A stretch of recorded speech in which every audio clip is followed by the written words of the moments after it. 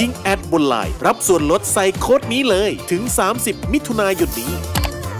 เปิดไลน์เปิดทุกความหมาย อะไรครับพี่เพนตอนนี้ อ๋อ ดิน ดินอยู่ในนี้แล้วเหรอ ใช่ค่ะ ดิน เอาดินมาเป็นสีย้อมเหรอะคะ ใช่ค่ะ ดิดินนจากไหนคะเนี่ย ดินแดงเนี่ยถ้าอันนี้จุธาทิพย์ไปเอามาจากในมหาลัยขอนแก่น ไปเจอได้ยังไงทำไมต้องเอาดินที่นี่หรือไงอย่างเงี้ย มันมีชื่อดินไหมครับ ถ้าทางบ้านเราเรียกดินดินแดงอะ ดินแดงก็คือที่มีสนามกีฬา ใช่วิภาวดีรังสิตไม่ใช่ที่เออดินสีแดงใช่อะเมื่อเราเห็นสีมันสวยแล้วเราเลยลองเอามาต้มดู ไม่ใช่อะช่วงโควิดในทีน่ะจะมีช่วงหนึ่งที่เขาปิดประเทศจุธาทิพย์ตกงาน ค่ะ ก็เลยขี่มอไซค์ส่งอาหาร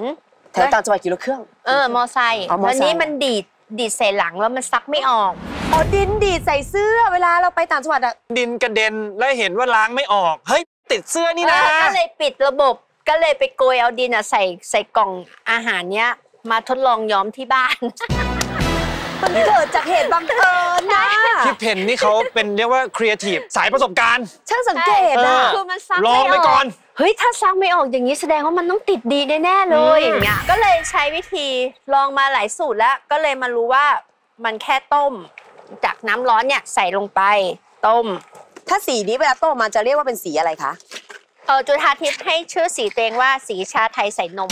ไม่บอกก็ไม่รู้ว่าเป็นมาจากดินที่เลอะเสื้อนะพี่ชมพู่นะใช่ใช่อันนี้มันสีชาของแท้เลยอะค่ะ แล้วจำเป็นต้องทุกวันนี้จำเป็นไหมต้องไปเอาดินในมอขอนแก่นเท่านั้นนะคะ ก็คือถ้ามันเปลี่ยนที่อะมันก็ได้อีกสีหนึ่งแม้แต่ในมอขออันเนี้ยเอามาจากทางทิศเหนือได้สีนี้ ทางทิศใต้ก็อีกสีหนึ่ง ดินเขาเหลือไหมเนี่ยที่มหาลัยตออะนนี้ ตอนนี้มองขอนแก่นเป็นเวิร์งหลุมเลยพี่เพนไปขุดเอาเป็นเวิ้งเลยตอนนี้ แต่ว่าอาจารย์ก็ไม่ว่าใช่ไหมฮะไม่มาว่า เอาได้ เพราะว่าย้อมเสร็จแล้วว่าดินก็ก็กลับไปเทที่เดิมได้เอาเพราะเราใช้แค่น้ำใช้แค่น้ำใช่ใช่ใช่ใช่ ก็เนี่ยค่ะ อันเนี้ยจุธาทิพย์ทำเรื่องของเก่าของพี่ใหม่ของน้อง สมมติว่าที่บ้านเราในตู้อะจะมีเสื้อผ้าสีขาวเยอะ ค่ะ แล้วเป็นพอมันเป็นคราบเหลืองเราอยากจะให้ใครก็รู้สึกอายอายๆใช่ไม่อยากให้อย่างเงี้ยค่ะอายเขาจุธาทิพย์ก็เลยบอกเอาทรงมานี่ เดี๋ยวจะย้อมให้ดู อ๋อบางทีเสื้อผมเป็นจักรแล้เหลืองจริงมันลบได้ฮะใช่ยิ่งเป็นดาราอย่างเงี้ยอุ้ยจุกโกแลเหลืองเงี้ยโอ้ตายแล้วอันนี้บอกหรือด่าเราเนี่ยทำยังไงได้อะก็แต่สมมติเนี้ยมันคือเสื้อที่ที่ช้ำมาแล้วแหละ ก็มัดเป็นเหมือนมัดย้อมเออมัดเออเหมือนมัดย้อมก็แค่ใส่ลงไปอย่างเงี้ยจุ่มแค่นี้เอง เนี่ยแค่เนี้ยมันก็กินสีแล้วค่ะพี่ทุกอย่างดูง่ายไปหมดเลยนะใช่พี่ชมอันพู่อันเนี้ยคือพาเด็กๆทำแค่เนี้ยค่ะ ก็เสร็จแล้ว ถ้าอยากได้เป็นลายเหมือนมัดย้อมแล้วก็มัดได้นะเอามัดหนังยางเอแล้วอก็ มัดหนังยางนี่นี่นี่ที่ที่อ๋อถ้านี่ ถ้าเสร็จแล้วซักออกมานี่จะสวยอย่างงี้ อันเนี้ยมัดหนังยาง เฮ้ยแฟชั่นเลย ใช่พอมัดยางมันก็จะแบบมีสสววยย ใส่ไม้หล่อสเลวยยสวยอะสวยสวยอันนี้เท่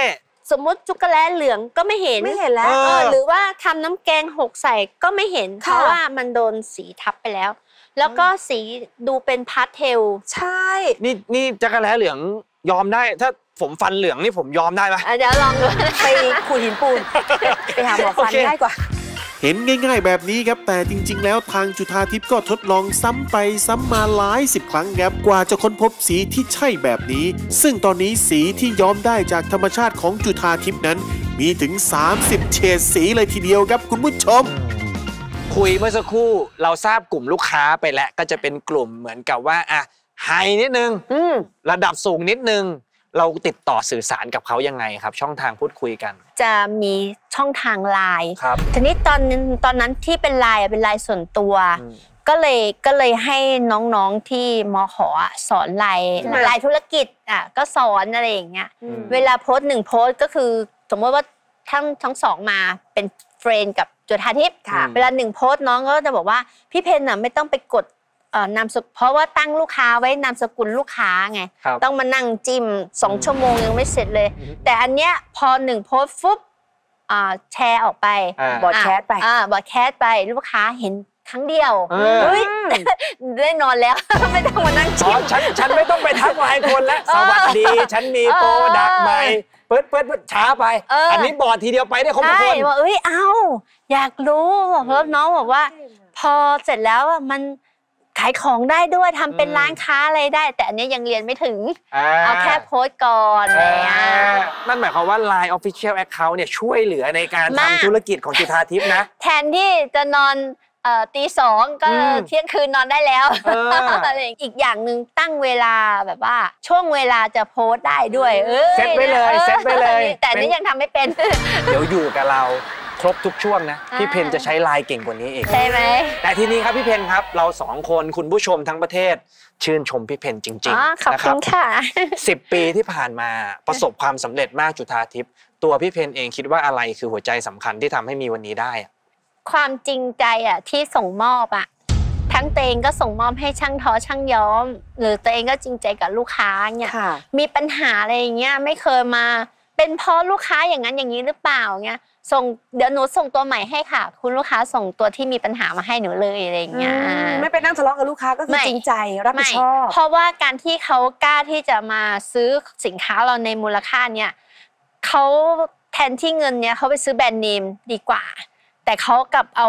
เงินก้อนเนี้ยมาให้กำลังใจเราเนี่ยเราจะไม่งอแงเด็กค่ะอืมนะและอีกอย่างตั้งแต่เจอตั้งแต่เจอพี่เพนมาตั้งแต่สวัสดีตรงราวผ้าตรงนั้นนะ เห็นรอยยิ้มตลอดเลยอะใช่ใช่ใช่ทำให้เรารู้สึกเลยว่าไอ้ที่ผ่านมามามันมีเรื่องท้อเรื่องทุกข์ให้แบบไม่ยิ้มบ้างไหมโอ้ยอะพี่เพน้ำตาเนี่ยแม่น้ำคงคายังน้อย แต่เรามองว่าเอ้ยเราจะไปอยู่กับความทุกข์อะทำไม เราเอาเอาพลังนั้นอะทิ้งไป แล้วอยู่กับพลังบวกดีกว่า อืม จริงใจต่อลูกค้าพร้อมส่งพลังบวก นี่คือแนวคิดธุรกิจที่ทำให้จุธาทิพย์เติบโตมาได้ถึงทุกวันนี้นั่นเองแหละครับ แต่ถึงอย่างนั้นครับปัญหาก็ยังจะคงมี ถึงเวลาที่ SME Biz Talk ของเราจะช่วยเหลือจุธาทิพย์แล้วล่ะครับมา SME Biz Talk วันนี้นะครับค่ะธุรกิจจุธาทิพย์ต้องเติบโตไปเรื่อยจริงอะค่ะมีปัญหาอะไรที่ติดขัดไหมเดี๋ยวเรามีกูรู เรามีโค้ชมาช่วยแก้ไขปัญหาให้ มีมีมีอืมเรื่องราคารู้สึกแพงอืม แต่ว่ากระบวนการทำงานเราเราจะขายต่ำกว่านี้อีกอะอืมไม่ได้ค่ะอืมมันก็ต้องเป็นการสร้างมูลค่าแบรนด์ให้ครับมันดูแพงขึ้นทำยังไงที่จะสื่อสารให้ลูกค้าเข้าใจว่าของเรามีมูลค่าอ่าอ่าเดี๋ยวเราใช่จัดการให้มีปัญหาอะไรอีกพี่เพนก็ไอทีนี่แหละ ถือว่าอาอายุ 50 ขึ้นไปเนี่ยก็ถือว่าเทคโนโลยีเนี่ยไม่ค่อยเก่งครัแล้บวเนาะค่ะอะก็จะเรื่องไอทีนี่แหละ ปัญหาหลักเลยแล้วยุคเนี้ย คนซื้อของผ่านไอทีเยอะเออผ่านไลน์เนี่ยแหละเออเออวิธีการใช้ไลน์ให้เต็มประสิทธิภาพใช่ดอกจันไว้เลย ตอนเช้าขึ้นมาอย่างเงี้ยไลน์เพื่อนยังไม่เด้งเลยไลน์โฆษณาขึ้นเออก่อนเว้ยเมื่อไหร่เราอยากอยากเป็นอย่างนี้บ้างอืมเนี่ยก็อยากเป็นเหมือนกัน แล้วกดคลิกเดียวแล้วถึงลูกค้า เดี๋ยวแป๊บเดียวเดี๋ยวทำเป็นเออเดี๋ยวจัดการให้ดอกจันไว้เลย เดี๋ยวพาโค้ชแจ่มๆมาสอนเอออยากเป็นอย่างนั้นนะไม่ต้องกังวลเลยครับพี่เพนรับรองมาวันนี้ได้ไอเดียกลับบ้าน ไปแก้ปัญหาคาใจได้เลยเลยครับ แล้วบอกได้เลยว่ากูรูของเราวันนี้แม่ไม่ธรรมดาเลยครับ คัดสรรมาเพื่อแบรนด์จุธาทิพย์โดยเฉพาะมาในช่วงนี้เราจะช่วยพี่เพนนะครับ แก้ไขปัญหาว่าเอ้ยจะบอกผู้บริโภคอย่างไรว่าแบรนด์เรามีราคาแพง นะจะได้เข้าใจตรงกัน ซึ่งกูรูวันนี้บอกเลยว่าโอ้โหเป็นเกียรติกับรายการจริง ๆ ครับ อยู่กับเราตรงนี้ ตัวจริงเรื่องเสื้อผ้าต้องเขาคนนี้ครับ ต้อนรับครับ พี่ชอนจากแบรนด์ Pro M สวัสดีครับพี่ชอนสวัสดีครับ เชิญพี่ชอนเลยนะครับสวัสดีครับ โอ้โห ต้องบอกว่าเป็นเกียรติกับรายการ SME Biz Talk มากพี่ชอนมาเยือนรายการเลย ขอบคุณมากเลยครับ ขึ้นยานแม่ต้องแหวกโพเอ็มนะครับนี่ของ จริง พี่ชอนเมื่อสักครู่ได้ทำความรู้จักกับแบรนด์จุธาทิพย์เป็นยังไงบ้างครับแบรนด์นี้ครับ มีเทคนิคในการทำผ้าที่น่าสนใจครับ แล้วก็เห็นเสื้อแจ็คเก็ตผู้ชายที่แขวนอยู่เนี่ยก็เป็นโปรดักที่น่าใส่อะอืม texture ทุกอย่างมันเป็นสิ่งที่เหมือนกับมี identity ของแบรนด์ครับของพี่เพนเองอยู่แล้วนะอืมแต่ทีนี้อยากรู้ว่ามีปัญหาอะไรบ้างล่ะที่อยากจะขอคำปรึกษาครับอืม เคยเจอปัญหาแบบดินไม่พอเหมือนจุธาทิพย์ไหมไม่พอดินหมดดินมอขอนแก่นหมดอย่างนี้เคยมีไหมโพเอ็มอะเคยไหม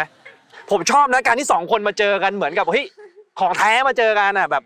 ในภาพบริบทของจุธาทิพย์อะจะไม่ขายความน่าสงสารของช่างทอหรือว่าคุณแม่ที่มาทำงานร่วมอืมจุธาทิพย์อยากวิธีการทำงานมันกำลังจะสูญ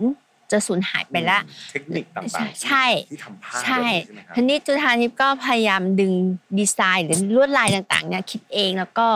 อ่าให้มันดูทันสมัยดูน่ารักแม้แต่สีสีหมวกอะไรอย่างเงี้ยให้มันดูน่ารักอะไรอย่างเงี้ยแต่ทีนี้ด้วยด้วยกระบวนการสมมติว่าปกติช่างทอผ้าจะสีสีสีเนี่ยจะไม่ค่อยเกิน แต่จุธาทิพย์เล่นเจ็ดสีแปดสี ซึ่งมันยากยากมากทีนี้ ไอ้ความยากเนี้ยเราสื่อสารไม่เป็น สื่อสื่อสารไม่เป็นแล้วก็พอเวลาไปขาย ยังไม่ได้ทันบอกราคาเลยเจอหน้าหนูก็บอกแพงบอกเดี๋ยวลูกค้าใจเย็นหนูยังไม่ได้บอกราคาเลยอะไรอย่างเงี้ยเออเจอหน้าจุธาทิพย์ของเธอแพงบอกอุ้ยให้หอมแก้มแทนเธออะไรอย่างเงี้ยทำยังไงดีพี่ชอนถ้าแบบนี้อืมคือเราต้องไม่เริ่ม ต้นจากการพยายามสื่อสารว่าทำไม เราต้องขายแพงอะอืมการที่พยายามจะเริ่มต้นอย่างนั้นเนี่ยมันมันเหมือนกับพยายามจะยัดเยียดข้อมูลบางอย่าง ความแพงมันจะต้องเขาเห็นด้วยแบบที่เราไม่ต้องพูดอะบางทีเราต้องใช้เวลาใช้ใช้ความค่อยเป็นค่อยไปในการสื่อสารเรื่องแบรนดิ้งอื่น ชอบคำนี้นะครับ ความแพงบางทีเฮ้ยเราไม่ต้องสื่อสารเราไม่ต้องพูดก็ได้ แต่ใช่ทำให้เขาเห็นว่าทำไมมันถึงแพงล่ะๆใช่พวกนี้อาจจะต้องใช้เวลาสักหน่อย ใช่เป็นสิ่งที่ต้องใช้เวลาแล้วก็ถ้าเกิดเราทำมันได้แล้วเนี่ย ทุกอย่างมันจะง่ายอืมให้เวลาถ้าที่เกิดสูลูกค้าเชื่อในอืมแบรนด์ของเรา มันจะทำให้เราสามารถทำราคาได้ สมมติพี่ชอนผมถามแบบนี้แล้วกันย้อนกลับไปในวันที่โพเอมเกิดขึ้นมาอืมวันนั้นพี่จำได้ไหมว่า พี่ขายสูตรตัวแรกราคาเท่าไหร่อะเทเลเมดนะอยู่ที่ประมาณหมื่นหนึ่งก็คือเป็นสูตรราคาแพงราคากลาง อ่า แล้วก็แพะไปทางแพงนิดนึงครับ แต่ในในท้องตลาดจำได้ว่า ก็ยังถือว่าอยู่ใน middle กลางกลาง range อยู่กลางใช่กลางๆในตลาดสูตร ใช่ใช่วันนั้นมีปัญหาไหมที่ลูกค้าไม่เข้าใจว่าทำไมโพเอมถึงราคาเท่านี้ ไม่มีเลย เพราะว่าอย่างแรกเราทำลายของ menswear ผู้ชายเนี่ยตอนปี 2010 ซึ่งเราทำลายผู้หญิงมาก่อน ครับ 2006 อืม แล้วเรามีแบรนดิ้งของผู้หญิงในระดับหนึ่งแล้วที่เหมือนเราเรามีเมล็ดที่ครับมันเริ่มคนงอกไว้เข้าใจแล้วกันอยู่บ้างคนเข้าใจในอ่ระดับหนึ่งแล้วเราไม่ต้องพูดมากอืมแล้วก็ไม่เคยมีปัญหาเรื่องลูกค้าจะถามว่าต่อราคาอะไรอย่างเงี้ยมันมันเป็นสิ่งที่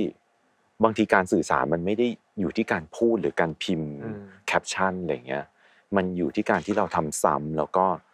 เราหนักแน่นในสิ่งที่เราทำมาตลอดแล้วเราทำแบบเดิมอืมอย่างนี้มากกว่า สุดท้ายแล้วการที่เราต้องเล่าเรื่องความดีของของของเราอะ เราต้องเป็นคนเล่าของเราเอง ทีนี้ตะเกียพอเข้าไปดูในเพจของจุธาทิพย์เนี่ยสิ่งที่เห็นอย่างแรกเนี่ย ตอนแรกที่เห็นรูปพี่เพนไม่รู้ว่าเป็นพี่เพนคิดว่าเป็นนางแบบ อุ้ยอุ้ยในเว็บแรกที่เจในอเว็บแรกใช่พูดจริงเพราะๆพี่เพนน่ะเป็นผู้หญิงที่มี characterตอนที่ผมเห็นพี่เพนครั้งแรกผมรู้สึกเหมือนกันเพราะว่าเห็นครั้งแรกมันรู้สึกถึงอะไรบางอย่างที่มี character เป็นสาวเปรี้ยวตาผมสั้นขอบคุณอ่าค่ะถ้าอย่างนั้นมันเป็นไปได้ไหมถ้าจะให้พี่เพนเนี่ยไม่ต้องจ้าง KOL อะไรเขาเป็นพรีเซนเตอร์เองเลยนี่เป็นไปได้ไหมใช่พี่ชอน ใช่ แล้วจะเป็นคนไม่ KOL สวยที่ก็ขาดความมั่นใจ เป็น KOL ที่เข้าใจสินค้ามากที่สุดอืม sustainable ที่สุด เดี๋ยวนี้หลาย ๆ แบรนด์ใช้ดีไซเนอร์เขาใช้ตัวเองเป็นคนเล่าเรื่องอะอืมพี่เพนได้พี่เพนใช่มั่นใจเลย พี่เพนมี character ใช้คำนี้ ใช่ อันนี้เป็นสิ่งไปที่นั่งบิ้วกับแอดมินทำงานกับใช้โทรศัพท์เครื่องเดียวเออ จบ อืมแล้วก็มีแอดมินมีมีแอดมินเป็นตากล้องได้ด้วย ม อะไรแบบเนี้ยน้องเป็นตากล้อง ใช่แล้วก็ทำในแบบที่มันสามารถทุกคนสื่อสารกันได้ง่ายๆอะไรเงี้ยถ้าเริ่มต้นในในช่วงเริ่มต้นอะมันจะทำให้ทุกอย่างมันอินเหมือนกับอยู่ในคอนโทรลของเราได้ โพเอมเนี่ยใช้มือโทรศัพท์ในการทำงานแบบที่มันบางทีถึงจุดที่มีน้องๆในทีมผมก็คิดว่าพอเถอะใช้ ตากล้องมืออาชีพเถอะเพราะบางทีผมรู้สึกว่าสิ่งที่เราเห็นด้วยตาแล้วเราหยิบโทรศัพท์มาถ่ายเนี่ยมันช่วยในการสื่อสารสร้างแบรนด์คอมมิวนิเคชันได้ดีกว่าบางทีที่ตากล้องมาถ่ายซะอีก มันเหมือนสะดวกกว่าเราเห็นอันนี้มันเฮ้ยใช่มันมันเล่าเรื่องได้ใช่ฉันควักออกมาทันท่วงทีใช่เลยเราไม่ได้ต้องการความคมชัดขนาด High Resolution ไงครับแต่เราต้องการภาพที่เรามั่นใจว่าภาพเนี้ยมันสื่อสารเกี่ยวกับเรื่องแบรนด์ของเราได้ที่จะนำไปสู่ Product ของเรา อันนี้สำคัญ เป็นรายการที่อบอุ่นจริง ๆ เลยครับพี่ชอนครับมอบประสบการณ์ในวงการแฟชั่นให้พี่เพนกันอย่างเต็มที่ ต้องขอขอบคุณพี่ชอนโพเอมด้วยนะครับ แต่ตอนนี้ครับเรามาช่วยพี่เพนให้ขายดีบนโลกออนไลน์ ผ่านตัวช่วยสุดปังอย่าง Line OA กันครับ